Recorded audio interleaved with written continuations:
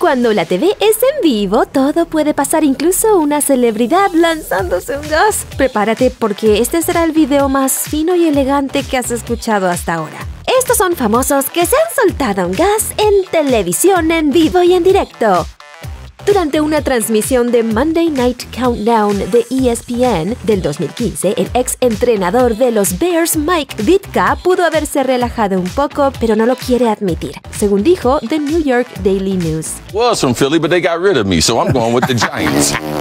Well, let's see if the Giants La palabra Fartgate retumbó a través de los medios de comunicación con Bleacher Report llamando a Ditka estruendoso y GQ analizando cómo él se inclina en su silla como prueba del gas. Ditka se defendió diciendo al Chicago Sun-Times, no fui yo y créeme porque estoy al punto de mi vida en donde no me importa.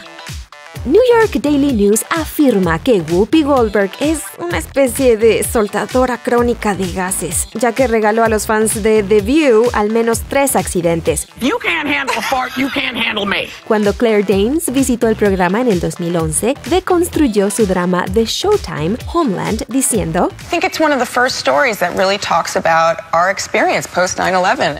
Poco después Goldberg comentó, Uh, I was going to say. Yeah. Go ahead. Oh, excuse me. I so differential. I think I just blew a little frog out of there. En serio, ¿cuáles son las probabilidades de que Regis Philbin se suelte uno al lado de Kelly Ripa? Bueno, esto sucedió en un clip de Live with Regis and Kelly del 2006. Anyway, uh, next week is um, uh, I, we're doing something around here Yes, called what is this all Kelly's about? Thanks. ¿De qué se trata? ¿De qué se trata? De que tu cuerpo te traicionó.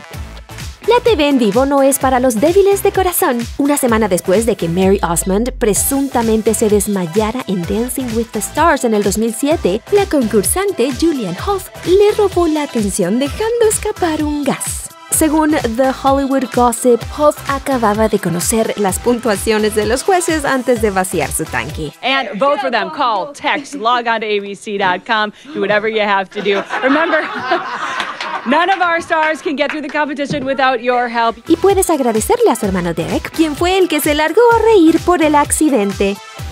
Se dice que Larry King comenzó una entrevista en vivo en el 2006 con el pie equivocado. Tras el lanzamiento de cohetes militantes contra Israel, King preguntó a sus invitados, get first the thoughts of Congressman Rohrabacher on what you've heard so far. You see any any optimism here?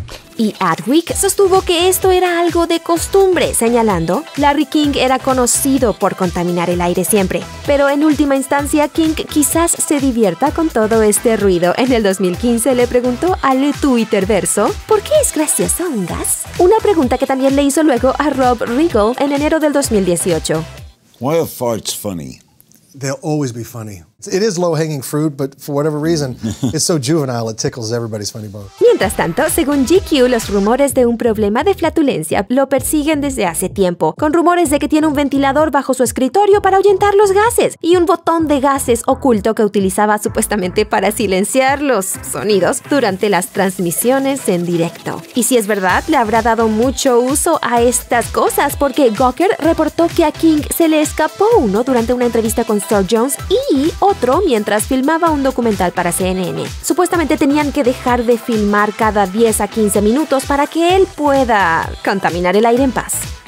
En el 2010, The Mirror investigó el incidente que tuvo la cantante y jurado Cheryl Cole en un episodio de The X Factor. El incidente ocurrió exactamente en el momento en que estaba evaluando a una competidora, Cher Lloyd.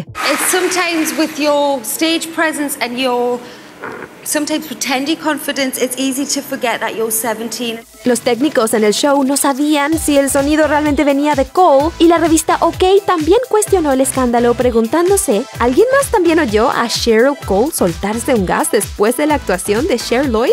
Pero la cantante no es ajena a tales acusaciones. En el 2012 le dijo a The Sun que regularmente la acusan de eso, diciendo, siempre me culpan a mí. Dicen, Cheryl Cole piensa que está bien soltarse gases en un avión porque ella es especial. Y eso no es verdad. O sea, debería haber una especie de aerosol que pueda ser rociado al aire y que identifique al culpable. Pero en lo que respecta a The X Factor, Cole tiene suerte de que no exista tal producto.